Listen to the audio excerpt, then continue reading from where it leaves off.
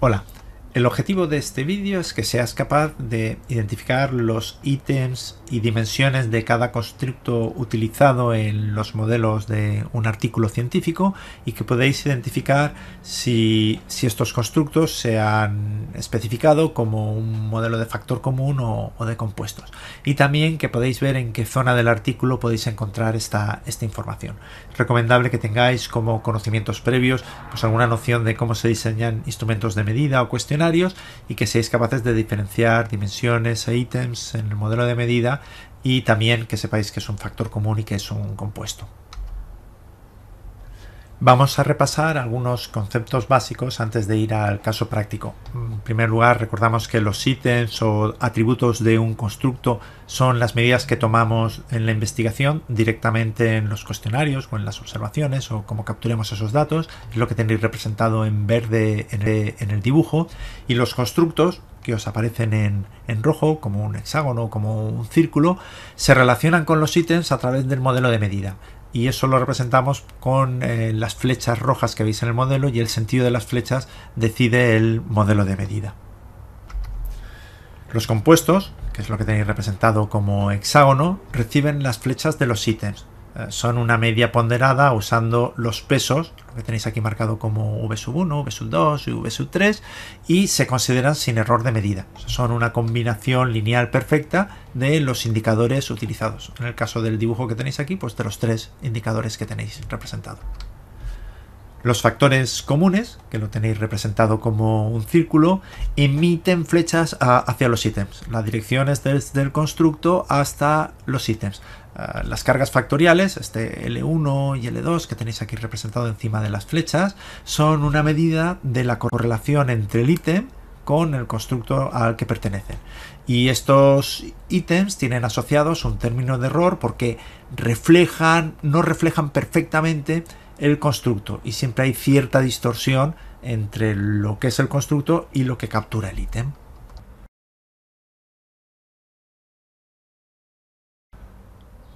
Vamos a identificar los ítems y las dimensiones eh, o constructos mm, utilizados en, este artículo.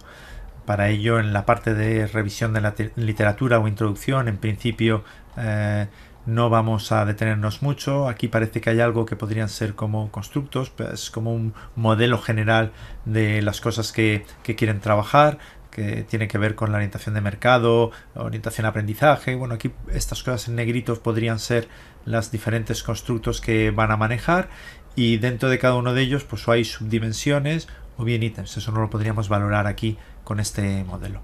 Seguimos adelante y bueno, aquí se ve eh, eso que se veía antes eh, de una forma más o menos aproximada, pues aquí la estamos viendo un poquito con más detalle. Está claro que hay 1, 2, 3, 4, 5 y 6 grandes constructos sobre los que se quiere trabajar, orientación de mercado, eh, orientación al aprendizaje, integración externa, flexibilidad externa, integración interna, ¿vale? Son esos y cada una de estas constructos tiene probablemente unas dimensiones o unos ítems. No sabemos si Customer Orientation, si la orientación a, clientes eh, tiene, es un ítem que se pregunta o si esto es una dimensión que mm, tiene varios ítems para ser preguntado. En este momento no podemos saberlo, pero por ahí van a ir los tiros. Vamos a seguir avanzando. Ya seguro que tenemos identificadas las dimensiones o constructos o estamos trabajando con estas seis, eh, seis constructos y estos constructos, algunos de ellos tienen tres dimensiones, tres dimensiones, dos, dos dimensiones, dos y, eh, perdón, cuatro dimensiones por aquí.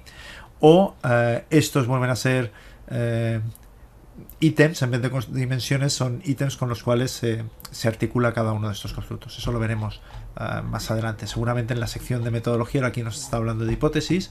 Aquí no vamos a encontrar nada para lo que estamos buscando, que son ítems o o dimensiones. Em, aquí habla de las escalas que utilizarán y lo que marca es que van a estar en el, en el apéndice. O sea que realmente la información que nos interesa la vamos a encontrar allí. Todo el resto del artículo, pues bueno, aquí nos está hablando de cuál es la muestra y prácticamente en la sección de metodología no hay nada más. Eh, en la parte de el modelo de medida podemos de nuevo ver las dimensiones. Si orientación al cliente debe ser también una dimensión y no un ítem, porque también tiene un alfa de croma, tiene una medida de consistencia interna, que quiere decir que esto no está preguntado solo con un ítem, sino que está preguntado con varios. O sea que con esta tabla ya tenemos idea de que todo esto son dimensiones de, o, constructos de segundo orden, constructos de, primer orden y a partir de ahí habrá ítems que intenten identificar cuál es la orientación del cliente o cuál es la orientación a la competencia o cuáles son la coordinación interfuncional o cualquiera de los otros constructos.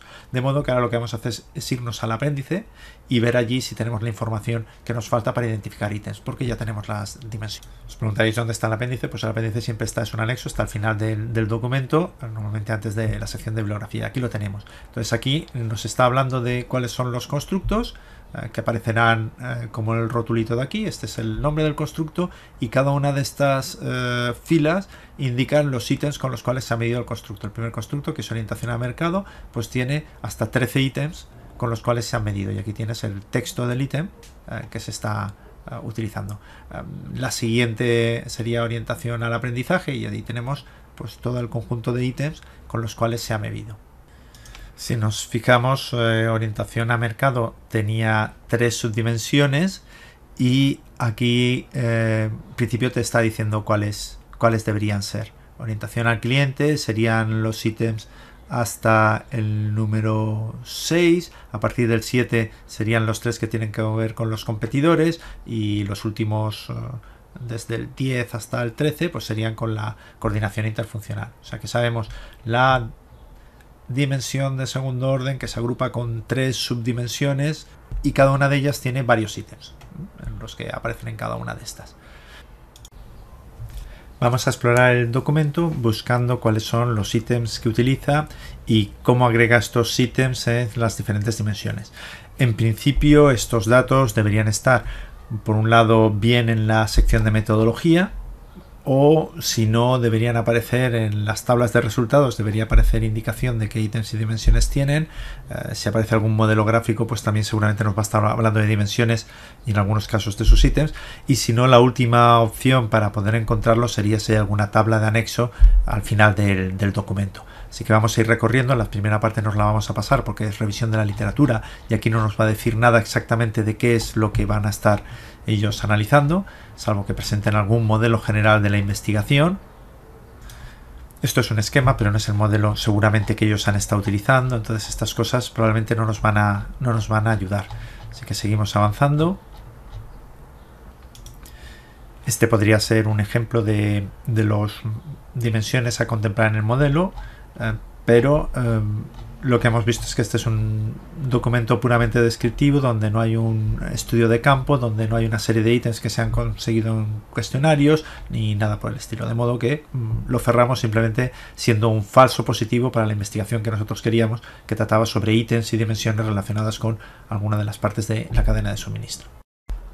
En estos momentos debéis ser capaces de identificar los modelos de medida, diferenciar los ítems y las dimensiones de cada constructo y saber en qué zona de un artículo podéis encontrar esta información.